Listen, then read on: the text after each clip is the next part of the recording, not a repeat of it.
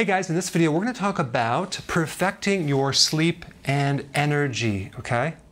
So normally an average person will go through four 90 minute sleep cycles. They're waves from a superficial sleep to a deep sleep, okay? Four times through the night.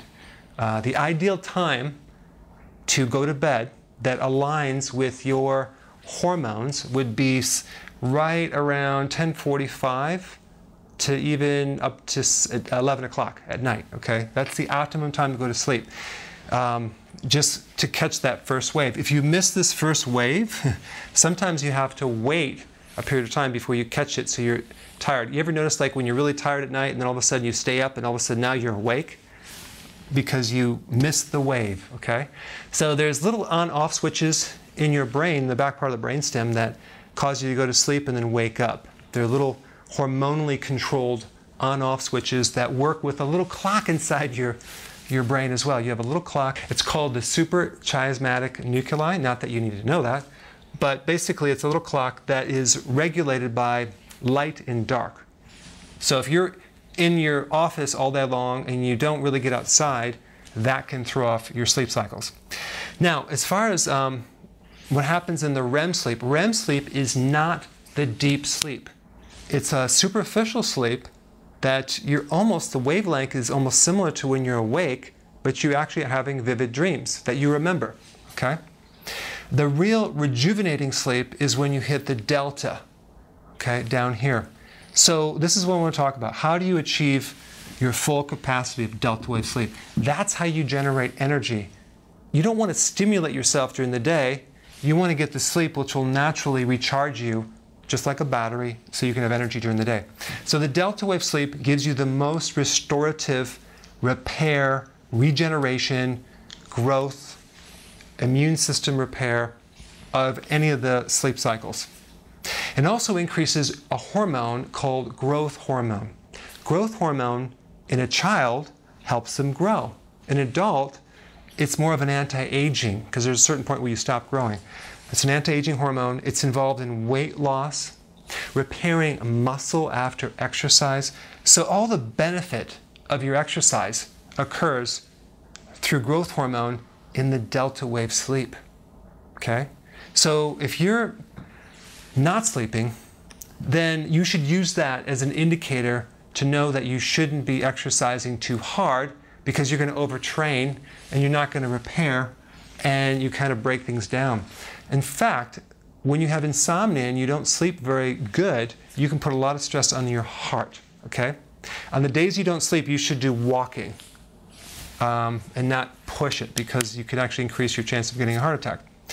Um, so the thing that I want to talk about is that you have several scenarios here. You have a situation where you can't get the sleep, or you wake up at 2 in the middle of the night and can't get back to sleep, and you're fully awake and you're just like, your mind's going. You're probably more awake here than you are in the morning. Or the best sleep is an hour before the alarm clock goes off. Or you wake up exhausted. Or you're up with your bladder all night long, okay?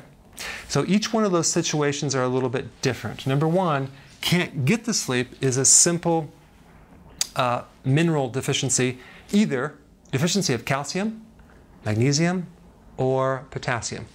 Okay? All three of those will keep you up at night and you just can't wind down. Those minerals are the uh, calming minerals. All right? Uh, wake up at 2, that's more of a higher adrenal cortisol. So your, your adrenals are kind of jacked up in it. And uh, the, the cortisol is on a circadian rhythm. And it's altered to the point where it just kicks in there and it's almost like it kind of like it activates uh, cortisol and adrenaline and wakes you up.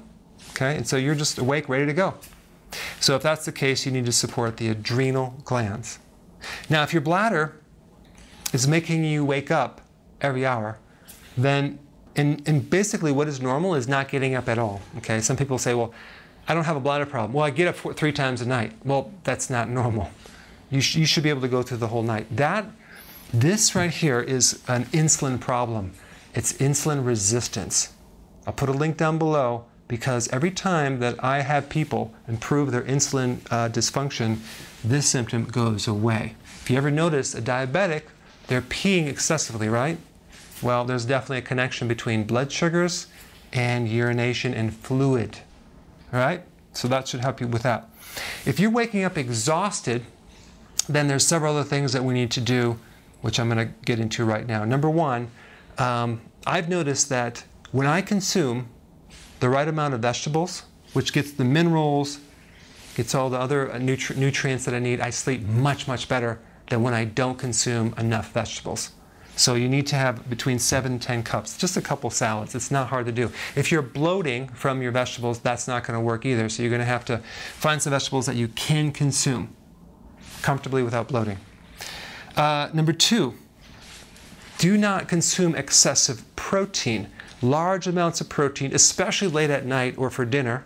You go for dinner, you have this huge steak. Not a good idea because protein is a stimulant and that will wake you up, prevent sleeping. So you want three to six ounces, okay? And I would, at, the, at that dinner, I would have your salad first and then your protein versus the protein first and then a side salad. It's just, you, you'll find that you won't eat as much protein if you have your salad first or your vegetables first. Too much caffeine. Okay, do one small cup in the morning. That's what I recommend. You start getting more, and it does affect your sleep quality. And even tea will uh, do that as well. So, and even chocolate with it's not caffeine, it's another stimulant that will also keep you up if you have too much of that. Uh, small amounts. Okay, of course, sugar free. Snacking at night. Let's say you have dinner, and then between dinner, let's say at 6 o'clock, till 11, you are snacking popcorn, chips, peanuts. You just keep eating, putting things in your mouth. Well, that's going to really uh, raise insulin. It's going to keep you from sleeping as well because you're going to feel bloated. So, what you want to do for dinner is have enough fat and vegetable because this gives you the potassium to be satisfied so you're not so hungry at night. Okay?